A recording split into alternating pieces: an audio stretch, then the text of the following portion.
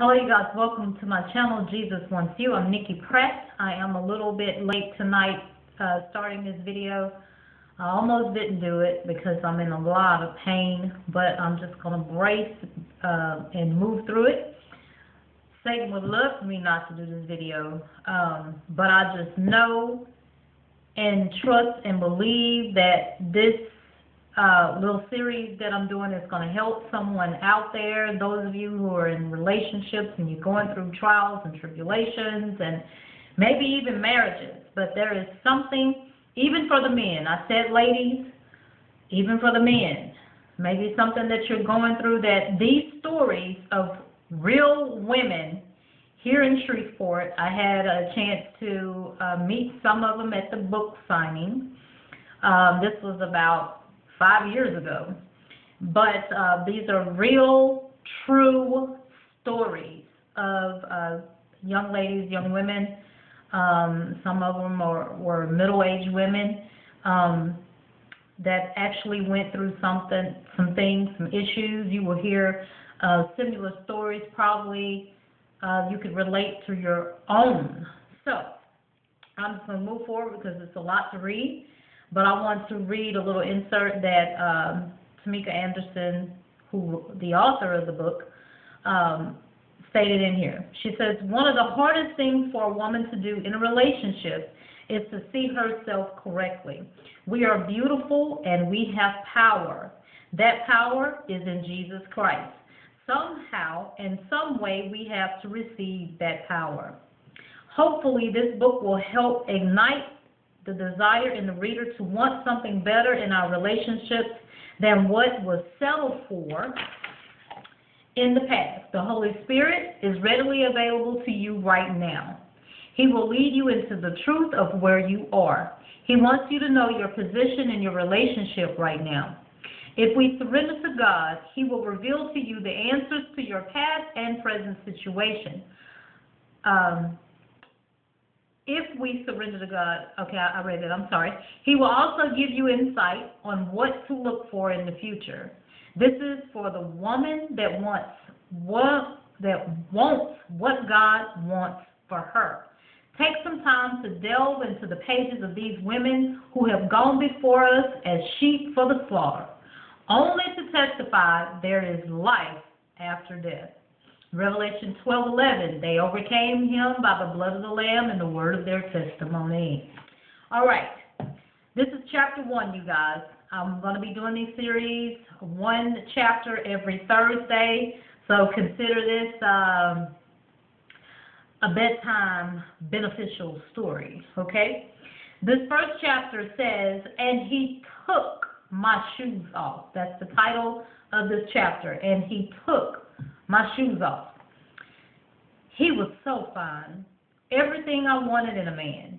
He was educated and in his late 20s. Oh my God, he owned such a beautiful smile. Now, where has this young, fine, muscular bound man been hiding? To add to that, he had no children, no kids. Now, that's hard to find these days when you're looking 30 straight in the eye. We had a lot in common. I remembered him from junior high school. He was cute back then, but now he was all grown up. I had a crush on him at the age of 12, but of course, it was not too serious. Back then, it was all about innocent phone conversations, so we finally meet again. Only this time, we were two consenting adults.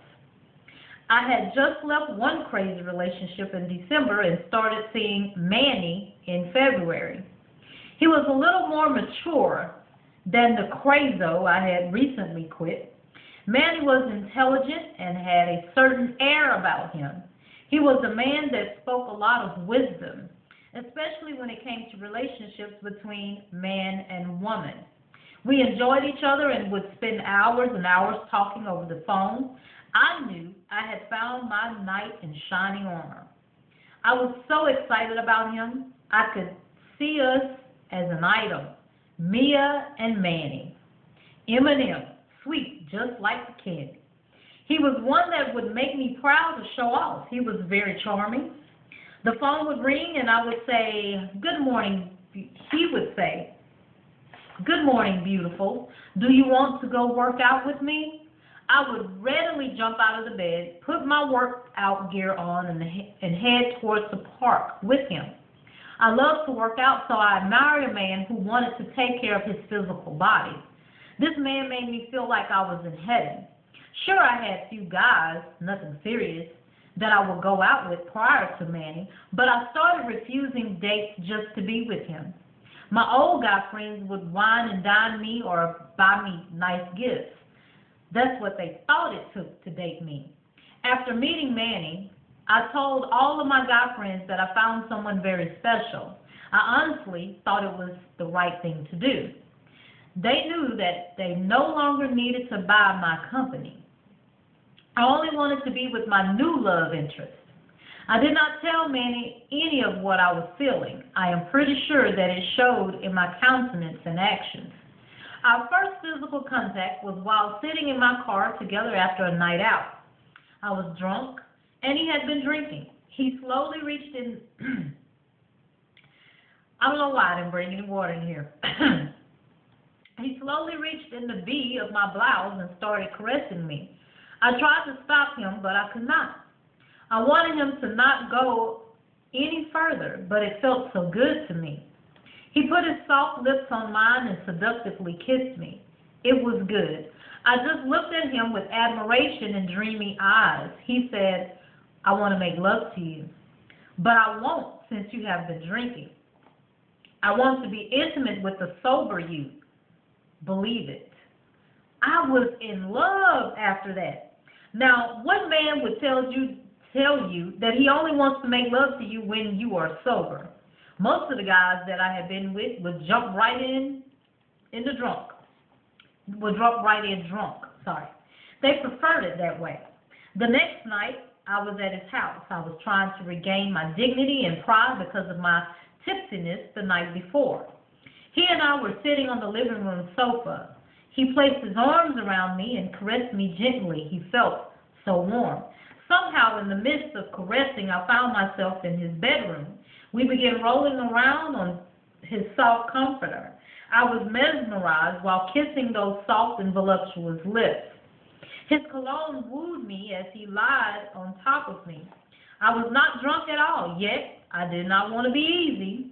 The kissing became more intense by the seconds. There was a reoccurring, reoccurring voice in my head that said over and over, Do not let him take your shoes off. The more he caressed me, the more I felt belonged. I felt lukewarm on the inside. As he moved his lips to my neck, the kisses became softer. My defenses were feeble. He slowly slid his hands down my leg and started to remove my left shoe. I quickly erected and said, No, do not take my shoes off. I knew that if he took my shoes off, that he had been that had me concerned. He smiled so beautifully, and it melted my heart. I was losing ground. He slid my left shoe off, and then my right. After the shoes hit the floor, I surrendered to him. I was naked and was flesh to flesh. I felt powerless, but wanted. The experience was unimaginable. For the first time in my life, I really wanted to be somebody's wife. I wanted to be Manny's wife. I was not drunk. I was in love bare feet in the wilderness. I continued to see Manny for the next four and a half months. In the four months, I had a spiritual experience with God that caused me to give up drinking alcohol. Sobriety was a great plan. I needed to prepare to be a good woman for Manny anyway, so it all made sense. Manny and I went to work out maybe once a week together and ate out once monthly. We would have sexual intercourse one to two times weekly. It was always great. I grew more and more into him. I was madly in love, but I would not tell him. He never mentioned commitment, and I never said anything either. My heart wanted to be in a monogamous relationship with him to the point that it was all I envisioned. He would visit me at home a few times a week. He would stay maybe an hour or two and then he would gracefully leave. We would then talk to each other at night for hours and hours about matters of life and love. After long hours of talking, he would then ask me to come over to his place.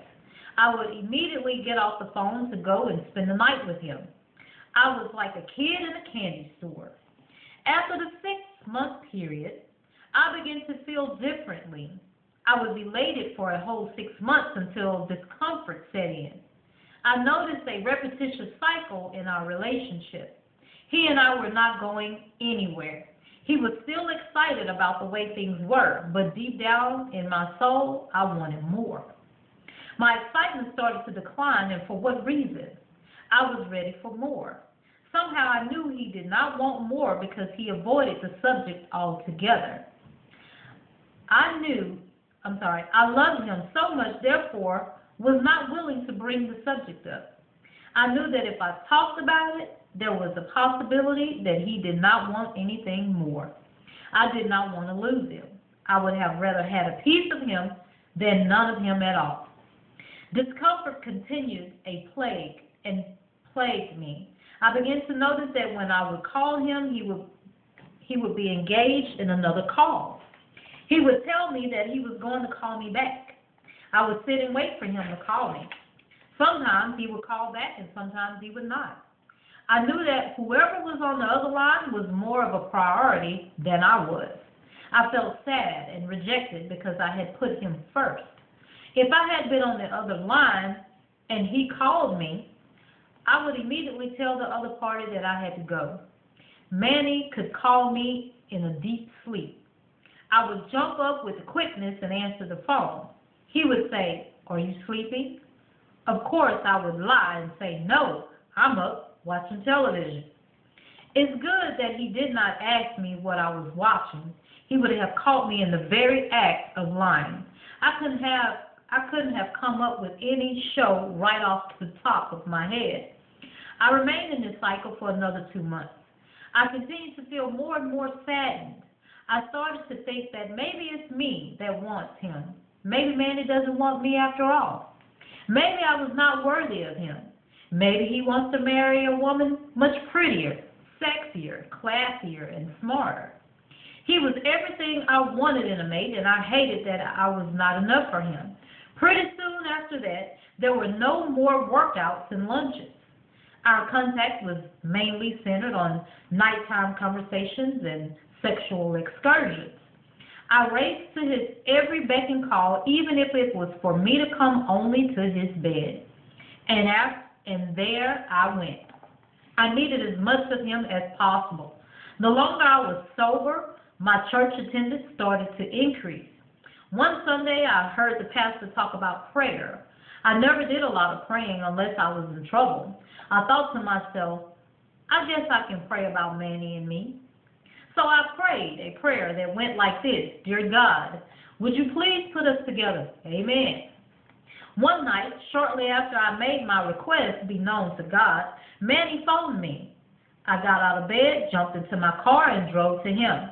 I had the feeling there was someone else in his life much more important than me. Quickly tucked those feelings away. I just needed to be in his presence and, of course, in his bed, too.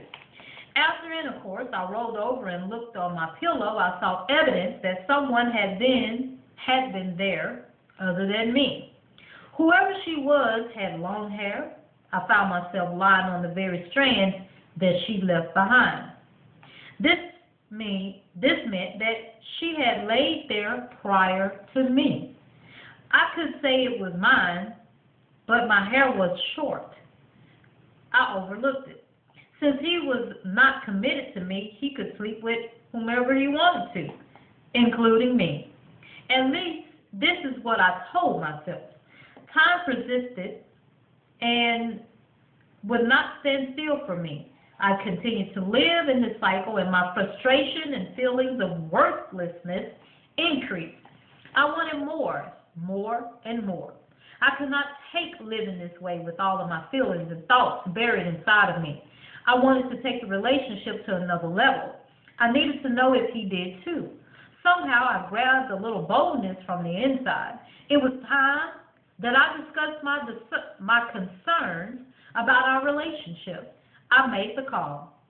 He answered the phone. The conversation went like this Me. Manny, we've been seeing each other over for a while, and I was wondering if this is going to go any further. Him, what do you mean? What we have is good. Why do you want to go and mess it up? Why do people change in the middle of the relationship? That is selfish of you to want to change without thinking about my feelings or thoughts. I guess you are in a relationship by yourself. You want to satisfy yourself and make this relationship fit to your life.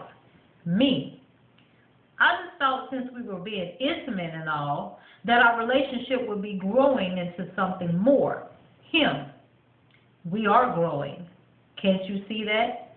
Me. No, I can't. I need answers. I don't, I'm sorry, I do not think I can continue to do this. Him. That's very selfish of you. I guess you are thinking of yourself and only want what you want. Since you are that selfish, do what you need to do to benefit yourself. I got off the phone feeling like I selfishly did him wrong. Now, really, why wasn't I thinking about his feelings and what he wanted? I only wanted what I wanted. That was so selfish of me. I was depressed and frustrated. I tried to measure up and felt that I was not able to. Please, God, help me measure up to his standards, I would pray. I continued to see Manny. I did not want to lose him, so I avoided the conversation and put it in the back of my mind. Yet still, all was not well with my soul. I longed for him. I knew that there had to be more to life than this crazy emotional roller coaster of wanting someone badly and they not wanting me. I had been in several crazy relationships, but this one had more of an emotional tugging. I brought the conversation up again one week later. I got the same type of conversation with a little something extra. Me. What is the purpose of us being intimate if this is all to our relationship? We don't we do not really need to have sex if this isn't going anywhere. Him. You mean to tell me that you are willing to give up this beautiful relationship we have because of some selfishness?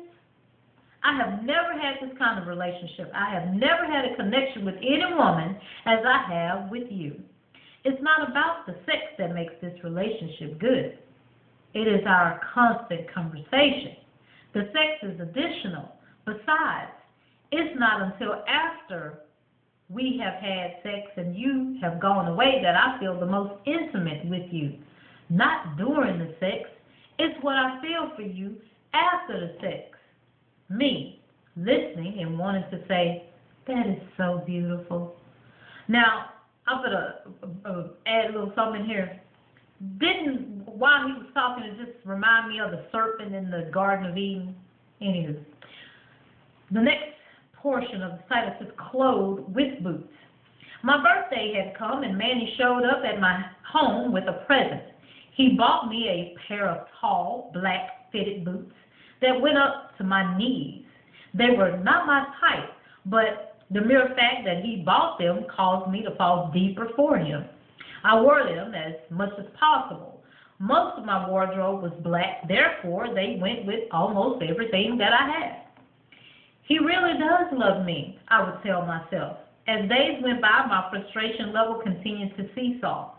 I started asking myself some common sense questions. If he loved me, why am I feeling sad and confused?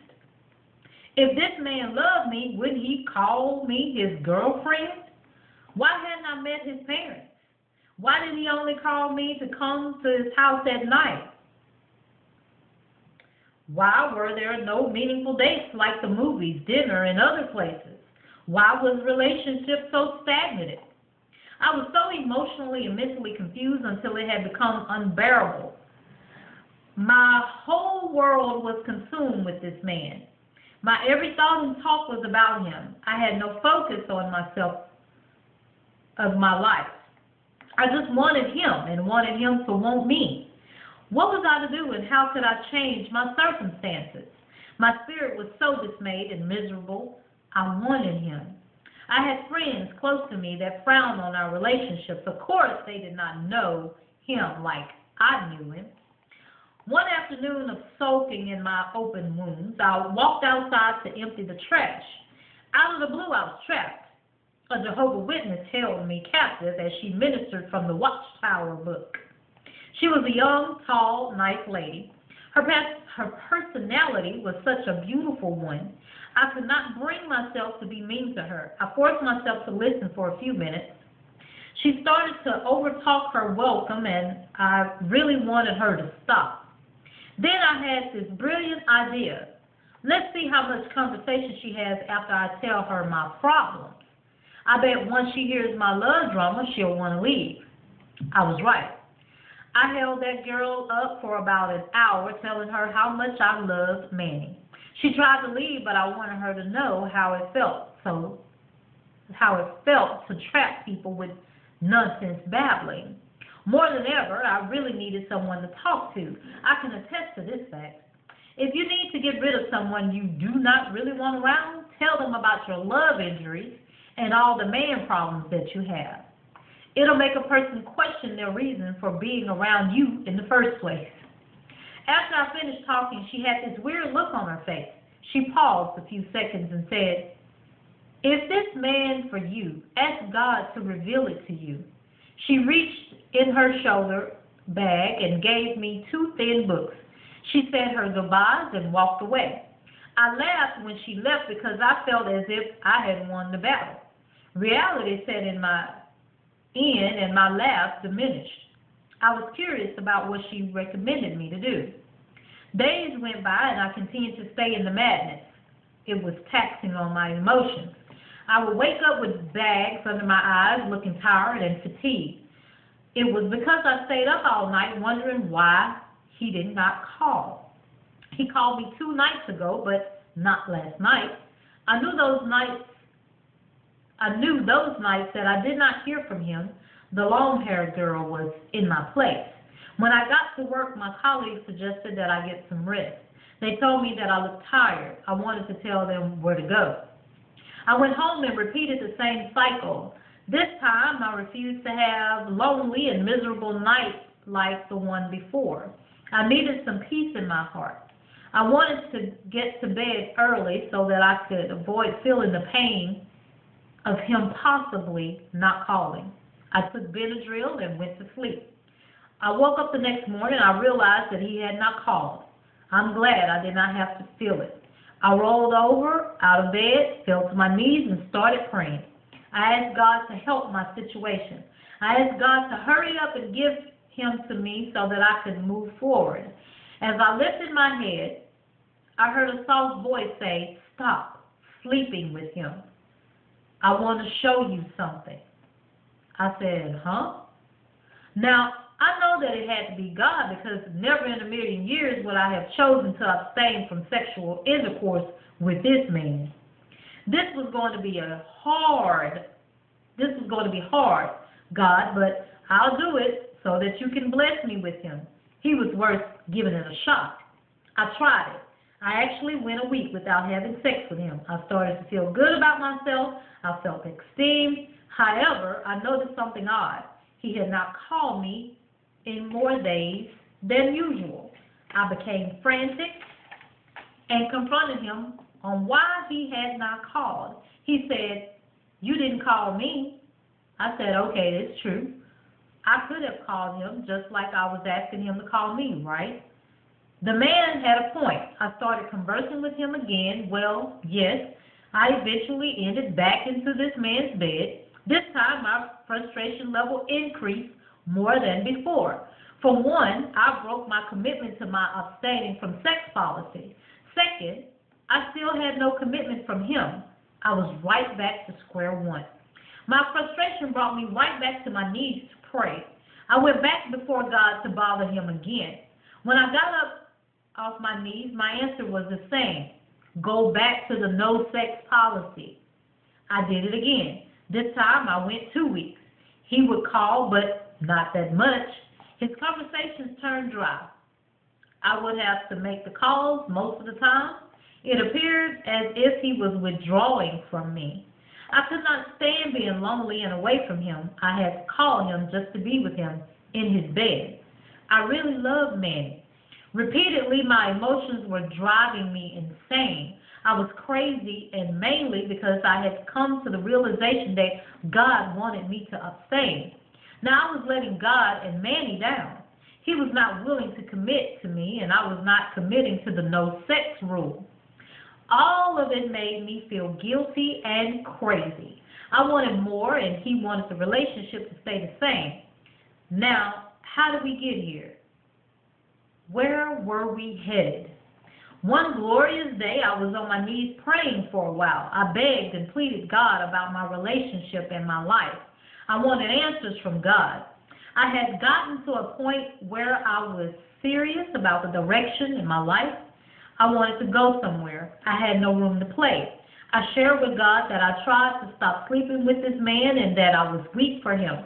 I explained to God that I wanted him so much and asked him if he would be kind enough to give him to me. I continued to tell God that I could not give up having sex with Manny because it's my strongest connection with him.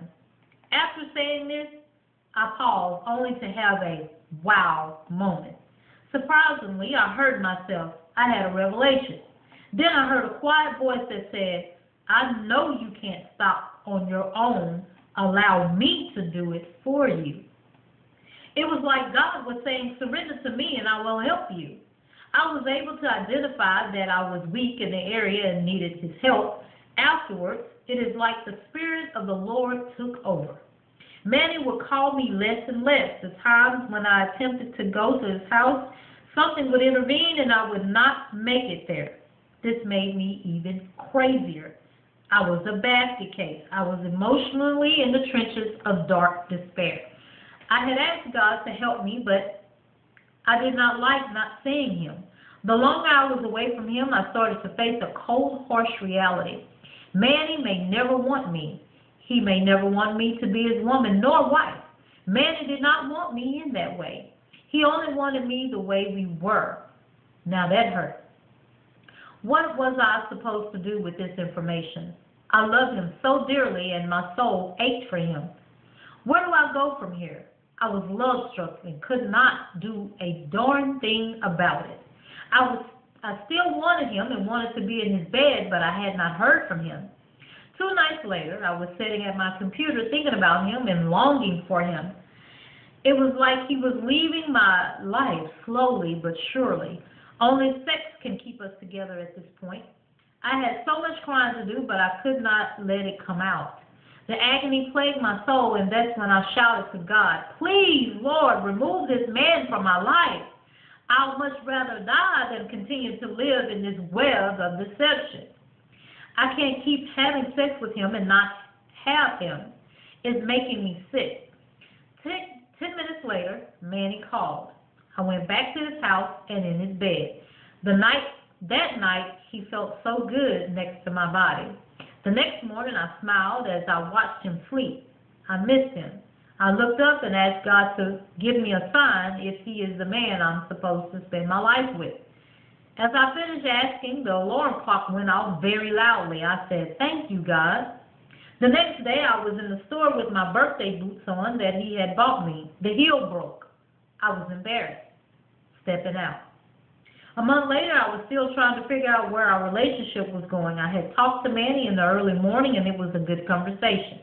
Later that day, my coworker came to my house and spanked some emotionally devastating news on me. She said that Manny called her and talked for hours. I was anxious to hear what he had to tell her about me. She said, Manny is getting ready to have a baby with his ex-girlfriend. She said that he was so happy about it. There was mere silence in the room. I could not say a word. My stomach dropped. I was emotionally numb. I wanted to burst into tears and yell out, Are you serious? Why, why, why? Didn't he know that I wanted to be the one to have his children? Didn't he know that I wanted to be his wife? I wanted to have his last name. I gave up other guys for him, and I was willing to make these necessary changes in my life to be his wife. I love him so much. Doesn't he even care about me? That's why that's what I wanted to say. I kept my cool. I played it off well with my tough exterior. She knew that I was hurt. That's why she came to my house instead of breaking the news to me over the phone. She said that Manny was too ashamed to tell me, so he told her. He knew that she would relay the message. She asked me if I wanted to go hang out to ease my mind. We were to a night we were at a night lounge. I hid from her most of the night in the club's private room.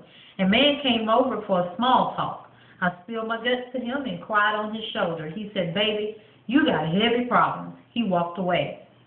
A few days went by and I started to process our relationship. I actually thought that if I stopped sleeping with the man, then he was going to see how important I was to him. I wanted him to say, Mia, I would rather commit to you rather than lose you. I was so wrong. One week had gone by and I decided to call him. We agreed to meet for breakfast. He appeared remorseful but happy at the same time. All these thoughts were flowing in my mind about ways to make our relationship work. After all, what we had was so beautiful. It did not go the way I had planned. Instead, he responded, I have a baby on the way. That's what I am committing to. Well, there was no way I was going to be able to compete with that. He told me that I would wake up one day and realize that I was worth more than what I tried to settle for. He really did not understand my love for him. I cried for two days only to realize that the woman that was carrying his baby worked directly across the street from my place of employment. This was such cruel irony. I could not believe that God was adding insult to my injury. That's real great, God. I watched her as she grew from month to month during her pregnancy. I saw baby shower balloons that our coworkers were carrying inside the building. They were all happily celebrating the coming of the new baby. It was hard getting into some acceptance. It was really over. Walking tall. God helped me process through the part of my life. In retrospection, I got revelation knowledge about the relationship. I realized that my perception of myself was distorted and caused me to remain in mental and emotional bondage. It was not Manny that I could not measure up to. It was self and the position God predestined me to have as a woman. How could I measure up when I did not know what God wanted for my life? God is in love with me. He looked out for me and gave me the best advice. I should have been seeking God's love and wisdom instead of seeking man and my own selfish desires. It was not in seeking man, but in seeking God and His Word. My prayers worked. When I cried out to God at my computer desk, I actually saw Him acting on my behalf. I was really serious at the moment about getting out of my situation, but I lacked the power to do it by myself. According to 2 Corinthians chapter 12, verse 9, the scripture states, My grace is sufficient for thee, for my strength is made perfect in weakness. I believe not I did not believe what God said about me, nor did I know what he said. I found out when I read his word. I am fearfully and wonderfully made, Psalms 139:14. Today, I believe that. I had to see myself the way God sees me. That was one of the reasons the relationship caused me so much pain. I was looking at me. Manny and the entire relationship all wrong. It was revealed to me that my shoes that he removed represented a covering of my feet and my walk. My covering was removed. They supported me in my mobility. I gave him authority and permission to remove them. This made me vulnerable on my walk. Those boots that he bought me looked like hooker boots. They represented exactly what I walked into, a state of prostitution. While being exposed to the world, to the wild, I'm sorry, it was like I was wayward. I was a wayward woman, woman selling myself for cheap and never getting my pay for what I was worth. I had lust all over me. We both did. I continued to walk in lust until I cried out to God. I did not understand that I was controlled by lust. However, God knew it. He understood exactly where I was and he helped me. The breaking of the heel on the boot represented me being broke down in the spirit and walking unbalanced. I was broken and broke down in them. When I was broken and was at my worst, God was able to perform at his best. I could not wear those boots anymore. I had to get rid of them, which caused me to walk right out of my situation and into deliverance. God did for me what I could not do for myself. I believe this was the part where God was breaking the lust of this relationship off my life. It is amazing how God allowed me to see this woman every day in her pregnancy. I know that He kept my situation in my face. I needed it at the time. If it were removed from my sight, I probably would have been able to justify why I needed to go back to Manny's bed. The old saying goes, out of sight, out of mind.